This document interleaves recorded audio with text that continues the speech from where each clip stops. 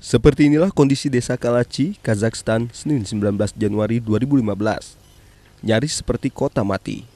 126 dari 600 warga desa ini menderita penyakit tidur. Penyakit yang cukup misterius mengingat hingga kini belum diketahui penyebabnya. Para penderita seketika akan merasa mengantuk dan tertidur pulas.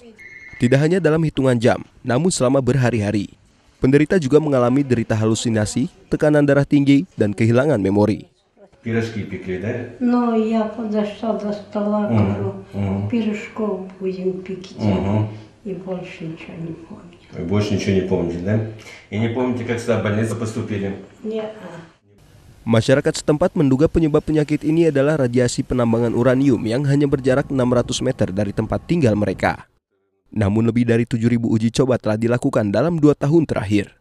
Hasilnya, otoritas setempat meyakini bahwa penyakit tersebut tidak berhubungan dengan radiasi yang terjadi di wilayah Kazakhstan. Даже в практике, это на больнице, сколько я работаю, после окончания института никогда не приходилось с таким встреча, встречаться с этим заболеванием. И даже по интернету, и даже, можно сказать, в Казахстане никогда не регистрировалось это заболевание. И мне кажется, даже по всему миру не регистрируется такое заболевание. Именно с такой клинической симптоматикой. Pemerintah terus berupaya untuk merelokasi warga, mengingat angka penderita terus meningkat. Relokasi akan selesai bulan Mei tahun ini.